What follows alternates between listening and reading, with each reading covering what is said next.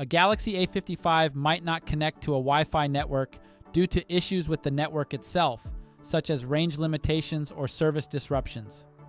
If you're facing this problem, the first step is to restart your devices, which can refresh both your phone and network device, potentially resolving temporary issues. To restart your phone, press and hold the volume down and power buttons until the options appear. Tap Restart and confirm you want to reboot your phone.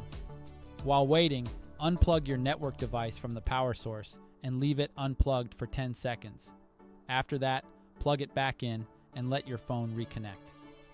This is often enough to resolve the issue. If the problem persists, you should reset the Wi Fi and Bluetooth settings on your phone.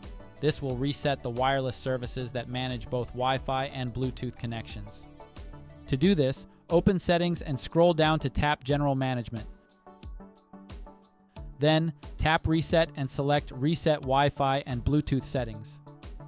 Tap Reset Settings to proceed, then try to reconnect to the network to see if the issue is resolved. It's also useful to check if other devices can connect to the same network. If they can connect without any issues, then the problem is likely with your phone.